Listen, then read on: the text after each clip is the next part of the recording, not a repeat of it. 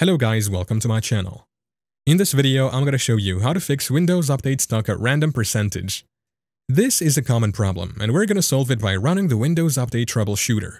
Let's get started. First, we need to open the Settings app. Click on the Start menu at the bottom left corner of your screen and then select Settings. Alternatively, you can press Windows plus I on your keyboard to open Settings directly.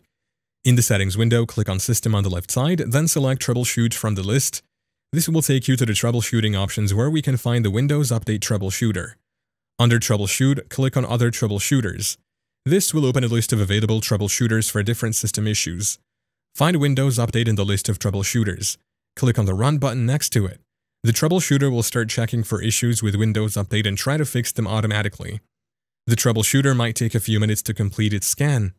Follow any on-screen instructions or prompts that appear during the process. It may suggest actions or fixes that you need to approve. Once the troubleshooter has finished, it's a good idea to restart your computer to ensure that any changes take effect. Click on the Start menu, select Restart, and wait for your computer to reboot. After your computer restarts, go back to Settings. Click on Windows Update, and then Windows Update.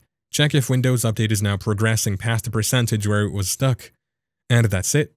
Thank you for watching. If this video was helpful, Please leave a like and subscribe to my channel for more videos like this.